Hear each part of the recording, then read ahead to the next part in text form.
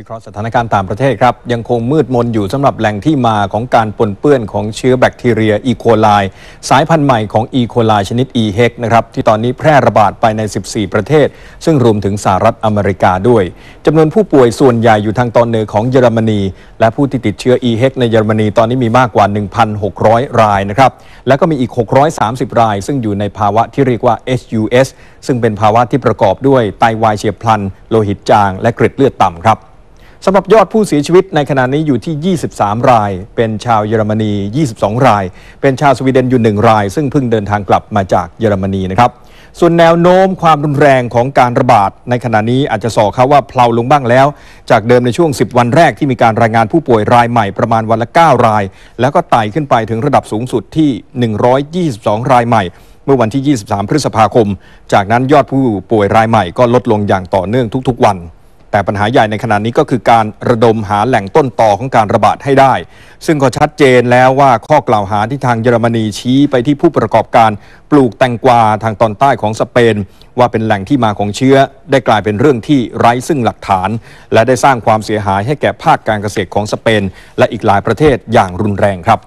ล่าสุดมีการตั้งข้อสงสัยของทางการเยอรมนีไปที่ถั่วงอก ที่ผลิตในแถบเหนือของเยอรมนี ในรัฐ Lower Saxony ว่าอาจจะเกี่ยวโยงกับการปนเปื้อนด้วยเชื้ออีโคไลแต่ถ้าว่าจากการตรวจพิสูจน์ก็ยังไม่พบการปนเปื้อนของเชื้อดังกล่าว ที่คาดว่าน่าจะมาจากการใช้มูลสัตว์เป็นปุ๋ย ซึ่งปรากฏว่าฟาร์มต้องสงสัยก็ไม่ได้ใช้ปุ๋ย แต่กลับเป็นการปลูกถั่ว โดยใช้เมล็ดและน้ำเท่านั้น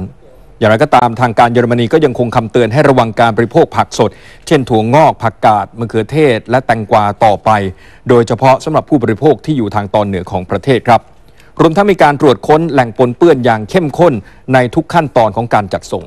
แต่ถ้าว่าสถาบันกลางด้านการประเมินความเสี่ยงของเยอรมนีมองว่า เป็นไปได้ว่าสุดท้ายแล้วก็อาจจะไม่สามารถหาแหล่งของการปนเปื้อนได้พบ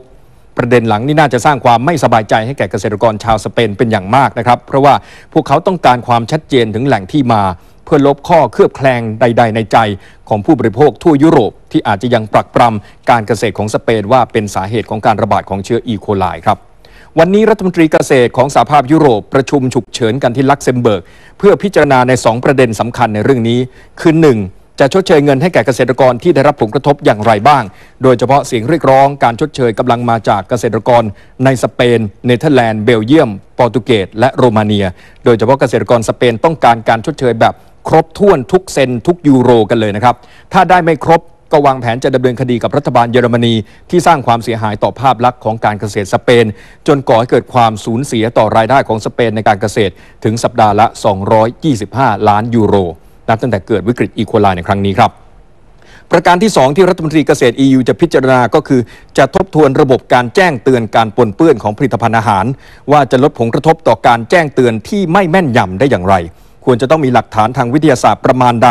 จึงจะสามารถส่งสัญญาณแจ้งเตือนออกไปสู่ประชาคมได้ โดย EU สามารถยอมรับในผลกระทบที่จะตามมา หากการแจ้งเตือนนั้นผิดพลาด แล้วก็สร้างความเสียหายให้แก่ผู้อื่นครับ ก็คงต้องติดตามกันอย่างใกล้ชิดต่อไปถึงแหล่งต้นต่อที่ยังมืดมิดอยู่ในขณะนี้ แต่ว่าเรื่องนี้ก็สร้างความนึกคิดฉุกคิดให้กับคนในหลายฝ่ายด้วยกันว่า การบริหารจัดการใดก็ตาม ถ้าขาดซึ่งความรอบคอบขาดซึ่งหลักฐานข้อมูลที่ชัดเจนในระดับหนึ่ง เพื่อใช้ในการตัดสินใจ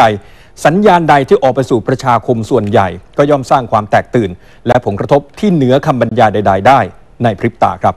พบกันใหม่พรุ่งนี้ครับ สวัสดีครับ มาถึงอีกหนึ่งเรื่องที่ติดตามกันทุกวันนะครับ นั่นก็คือภารกิจของกองกำลังเฉพาะกิจ 980 ไทยดาฟู วันนี้จะเป็นภารกิจอะไรเรื่องราวเป็นยังไงนั้น ติดตามได้จากทีมข่าวภาคสนามครับค่ะ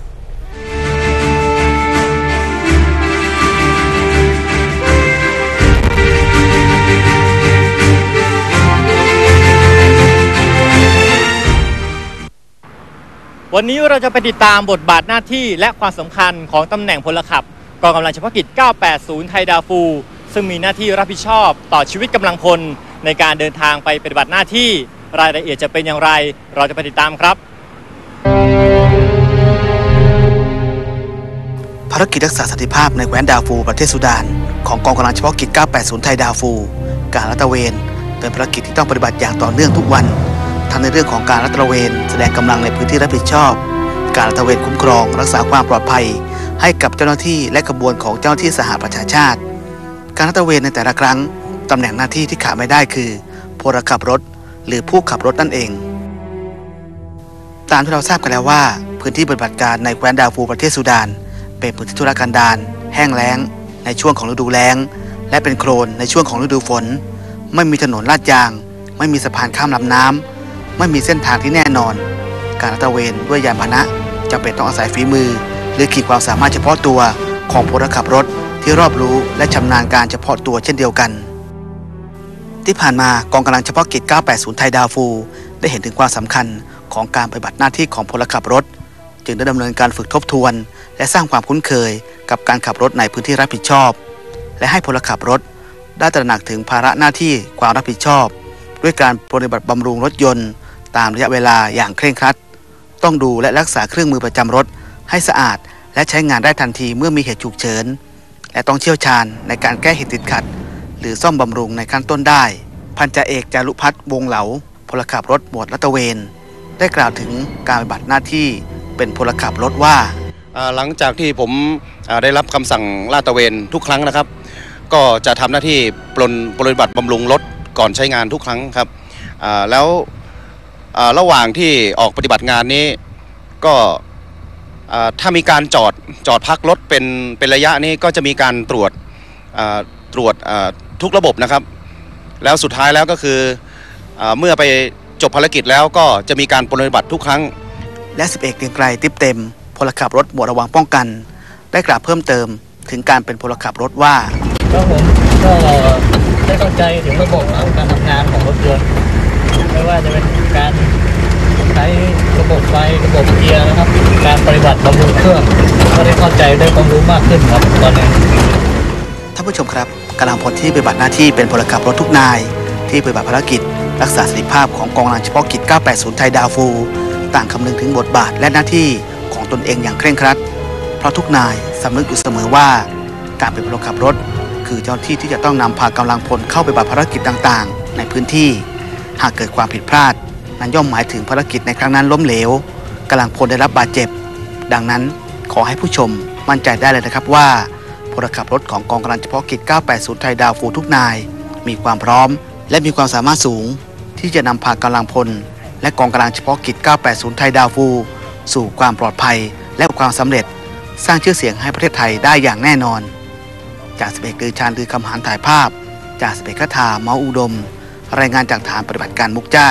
เมืองมุกจ้าประเทศสุดาน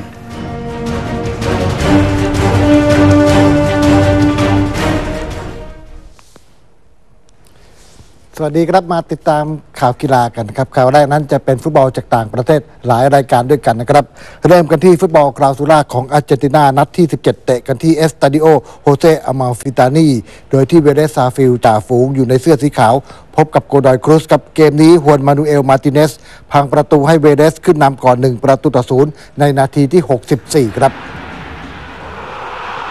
เลี้ยงเข้ามาแล้วก็ยิงอย่างสวยงามนะครับ จากนั้นเวเลสก็ยังคงบุกหนักและนาทีสุดท้ายดาวิดลามิเลสก็พังประตู ย้ำชัยชนะให้กับเวเลส ชนะโกดอยครุสไป 2 ประตูต่อศูนย์รั้งจ่าฝูงต่อไปเตะ 17 นัดมี 33 คะแนนนำลานุสอยู่ 1 คะแนนครับขณะที่โกดอยครุสนั้นตามมาเป็นอันดับที่ 3 มีอยู่ 28 คะแนนครับ ฟุตบอลคอนคาแคฟโกลด์ครับที่แคลิฟอร์เนียนัดแรกกลุ่ม B จะไม่กล้าเสื้อเหลือง พบกับเกรนาดาครึ่งแรกจะไม่กล้าทำเกมบุกได้ดีกว่านำห่างไป 2 ประตูต่อศูนย์จากลูตันเชลตันนาทีที่ 21 นะครับและไรอันจอห์นสันนาทีที่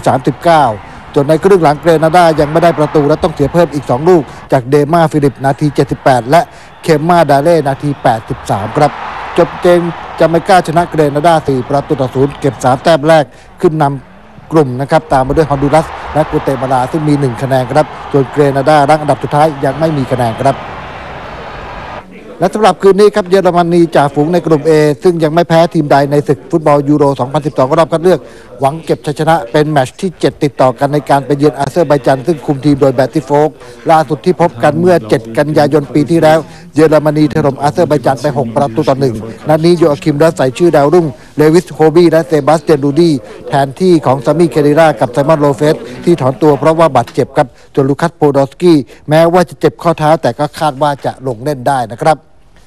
เรามาต่อกันด้วยมวยสากลสมัครเล่นในกีฬากองทัพไทยครั้งที่ 44 นะครับ วันนี้มีการชิงชัยกันทั้งหมดนะ8รุ่นด้วยกันครับ ชกกันที่เวทีมวยชั่วคราวโรงเรียนช่างฝีมือทหาร ในรอบชิงชนะเลิศรุ่นฟลายเวทน้ำหนักไม่เกิน 52 กิโลกรัมอาสาสมัครทหารพราน อำนาจรื่นเริงเจ้าของเหรียญทองแดงปีที่แล้วรุ่น 49 กิโลกรัม จากทีมกองทัพเรือมุมน้ำเงิน อาศัยประสบการณ์ที่ดีกว่าเอาชนะอันนันต์ป้องเขตจากสำนักงานปลัดกลาโหม 5 ต่อ 2 คะแนนคว้าเหรียญทองในรุ่นนี้เป็นครั้งแรกขณะที่เหรียญทองแดงรุ่นนี้ตกเป็นของ 10ตำรวจเอกพิทักษ์พงศ์เดชถีพัฒนโชตจากสำนักงานตำรวจแห่งชาติครับ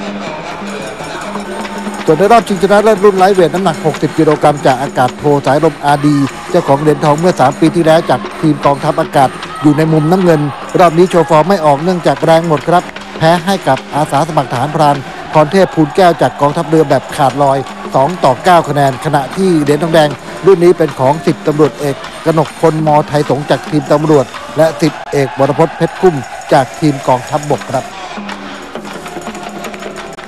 และทั้งหมดนั้นก็คือข่าวกีฬาของททบ5ในช่วงนี้ครับ